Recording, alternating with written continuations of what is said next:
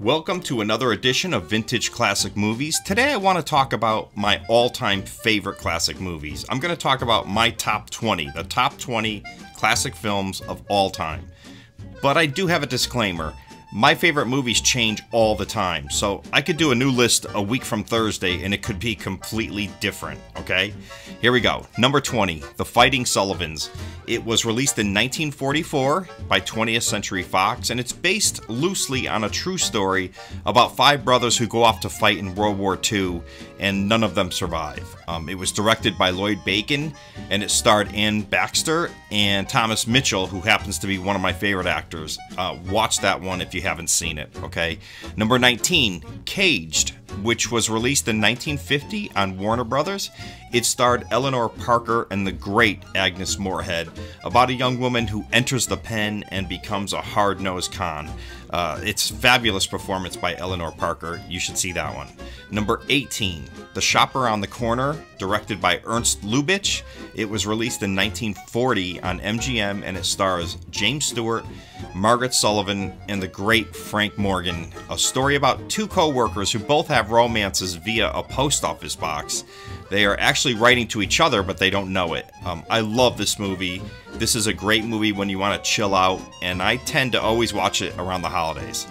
Uh, I Am a Fugitive from a Chain Gang is number 17. It was released in 1932 on Warner Brothers, and it starred the great Paul Muni and Glenda Farrell. And it's about an innocent man who is sentenced to hard labor on a brutal chain gang.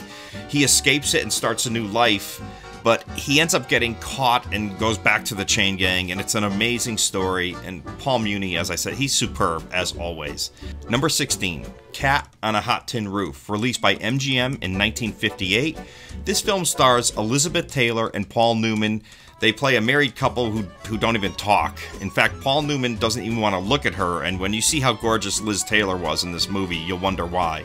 It's a fabulous movie directed by Richard Brooks. Number 15 is next, from 1941, released by Paramount Pictures.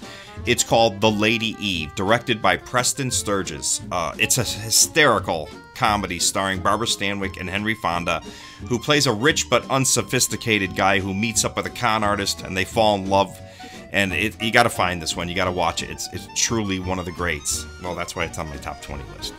Number 14 is A Treasure from 1951, United Artist, The African Queen, starring Humphrey Bogart and Katharine Hepburn, about an old rundown steamer ship during World War I and a journey that two people from completely different walks of life take together. It's directed by John Huston. It's amazing.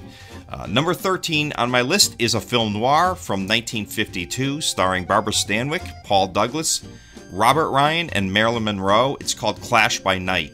It was directed by the great Fritz Lang. Number 12 is a crime drama called White Heat. It stars James Cagney. It was released in 1949 by Warner Brothers and it's directed by Raoul Walsh. It's the story of a sadistic leader of a ruthless gang of thieves and Cagney's performance is mind blowing. This is a must see. Wait, I keep saying these are all must sees. Number 11 on my list of the greatest 20 classic movies is called Dodsworth, made in 1936 and directed by William Wyler. This great romance story stars Walter Huston, Ruth Chatterton, and Mary Astor. It's a great chick flick. Wait, am I supposed to admit that I like 80 year old chick flicks?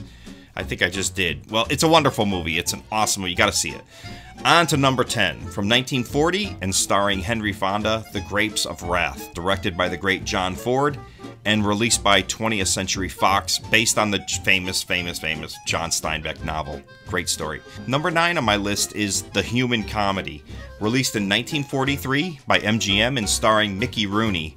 It's the story of a family living through World War II, and supposedly, Louis B. Mayer said at some point late in his life that The Human Comedy was his favorite movie that MGM ever released. Uh, the movie was directed by Clarence Brown. A Star is Born, released in 1954 and starring Judy Garland and James Mason, is number 8 on my list of all time greats. Directed by George Cukor and released by Warner Brothers, this film, in my opinion, includes some of the greatest singing performances I've ever heard in my life. Judy Garland's voice is explosive in this film, as is her entire performance. I love this movie. Uh, number seven is a great Billy Wilder movie from 1960, United Artists. The movie is called The Apartment. It stars Jack Lemmon and Shirley MacLaine. It's the story of a man who lends his apartment keys to the executives of his company that he works for in order to climb the ladder of success. And uh, they they take the key and they spend time with their mistresses in his apartment. It's an amazing movie. It's it's great on all levels. The writing, the acting, phenomenal. Number six, On the Waterfront from 1954, starring Marlon Brando, Karl Malden, and the great Lee J. Cobb. It's an amazing story about the workplace. I, I bet you most of you have seen that one, right? Of course you have. Uh, number five is a Frank Capra film from 1939 called Mr. Smith Goes to Washington, starring James Stewart, Jean Arthur, and Claude Rains. A story about a naive and idealistic man who gets appointed to the Senate and finds out exactly how, you know, crooked Washington is, or was. No, is. Uh, so number four, it's a great movie from 1962, and it starred Gregory Peck. It's called To Kill a Mockingbird. You know, we all had to read that book in high school, and I'm sure most of you have seen this movie. It's a perfect movie, and it's an incredible performance by Gregory Peck. It's it's my favorite of all of his movies. Uh, now, number three, another Frank Capra film from 1946, It's a Wonderful Life, starring James Stewart. You know this one. For a while, it fell into the public domain, and you could see it like every minute on every station during the holiday season. Uh, I'm kind of biased to this movie because it's sort of the movie that got me into collecting classic movies, and, and my love for classic movies started right at this movie. So uh, I always have that, that spot in my heart for this movie. Number two, Sunset Boulevard from 1950, released by Paramount. Billy Wilder directed this masterpiece starring William Holden and Gloria Swanson. This is an epic film noir. I'm sure many of you seen it. Gloria Swanson's performance is outrageously funny and brilliant and great. Uh, okay, time for number one, and some of you probably have guessed it. Casablanca, 1942, Warner Brothers, starring Humphrey Bogart. The first time I saw this movie, I didn't get it. I think I was in my mid 20s, and now when I watch it, I don't really get how I didn't get it, but I didn't. But I love, love, love, love, love this movie, and hence it made it to number one. Okay, so there you have it. How did I do? Uh, what are your favorite 20 classic movies or your top 10? I'm waiting, okay? And then leave a comment below. Check out my website. It's vintageclassicmovies.com. It contains a list of all the films in my personal collection. And again, let me know what you guys. How did I do? Did I do okay?